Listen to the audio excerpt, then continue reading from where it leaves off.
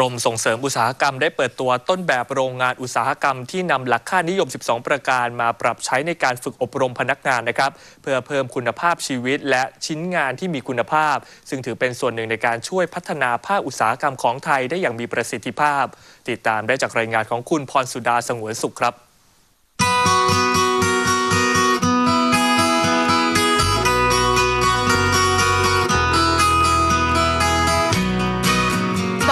รถยนต์สำหรับเด็กที่เห็นอยู่ในโรงงานแห่งนี้ เป็นผลิตภัณฑ์สำหรับเด็กที่ได้รับความนิยมมากขึ้นอย่างต่อเนื่อง ซึ่งในปีที่ผ่านมามียอดขายสูงถึง 2 ล้านชิ้น มีการส่งออกสินค้าไปยังกลุ่มลูกค้าทั่วโลกการผลิตสินค้าของโรงงาน นอกจากพัฒนาสินค้าอย่างต่อเนื่องแล้ว โรงงานนี้ยังถือเป็นโรงงานต้นแบบ ที่มีหลักการบริหารจัดการที่สอดคล้องตามหลักค่านิยม 12 ประการ ในการพัฒนาบุคลากรและผลิตภัณฑ์ คือจริง ๆ แล้วเนี่ยค่านิยมสองประการเนี่ยเป็นพื้นฐานเป็นธรรมพิธรรมพิบาลนะองค์กรไหนถ้าไม่มีเรื่องธรรมพิบาลจะไม่เกิดความยั่งยืน คุณภาพสินค้าต้องมาจากคุณภาพของของของใจความสุขจากพนักงานที่เราที่เราทำเนี่ยคือ เราไม่ได้ทำทำมาจากเครื่องจักร เราไม่ใช้เครื่องจักรแล้วเดินเนี่ยเนื่องจากเราเราใช้คนคนที่เย็บนั้นคนที่มีความสุขก็จะสามารถผลิตสินค้าที่มี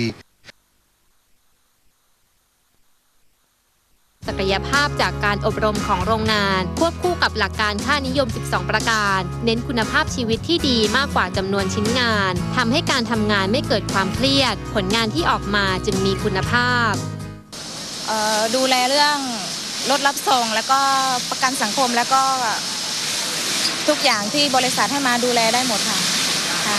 ดีค่ะ รู้สึกดีว่า ได้อบรมแล้วงานที่เราทำมาก็รู้สึกดีขึ้นค่ะ จากงานที่เราเคยมีงานซ่อมนี้ก็เอามาช่วยลดปัญหางานซ่อมค่ะ แล้วก็ทำงานออกมาเรื่อยๆ แล้วก็ส่งมอบให้สำหรับ QC ละค่ะค่ะก็ทำงานอยู่ด้วยกันอย่างมีความสุขนะคะ แล้วก็ทำงานสะดวกค่ะ ความสัมพันธ์กับเพื่อนร่วมงานดีค่ะ คือเหมือนว่าได้ใกล้ชิดกันมากขึ้น เหมือนมีอะไรก็แลกเปลี่ยนความคิดเห็นกันได้ค่ะ คุณภาพคือว่าคุณภาพก็มีการอบรมตลอด คือเหมือนว่าคุณภาพต้องที่หนึ่งค่ะทั้งนี้กรมส่งเสริมอุตสาหกรรมได้จัดการส่งเสริม และสนับสนุนภาคอุตสาหกรรมผ่านโครงการต่างๆ กว่า 50 โครงการ โดยสอดแทรกหลักธรรมาภิบาลให้เกิดค่านิยมคุณภาพ และค่านิยมคุณธรรม เพื่อเพิ่มศักยภาพในตลาดอุตสาหกรรมโลก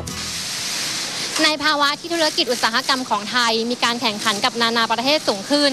การนำกลยุทธ์อุตสาหกรรม ค่านิยม 12 ประการมาปรับใช้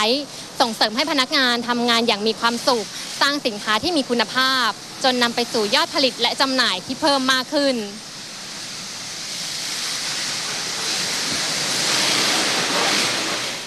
ปัจจุบันสินค้าของไทยได้รับความนิยมจากนักลงทุนต่างชาติที่ใช้เป็นฐานการผลิตสินค้าจากทั่วโลก และการนำหลักค่านิยม 12 ประการมาประยุกต์ใช้ในการทำงาน จะทำให้เกิดการพัฒนาคุณภาพสินค้าและบุคลากร มีประสิทธิภาพมากขึ้นได้พรสุดาสงวนสุข ห้องข่าว NBT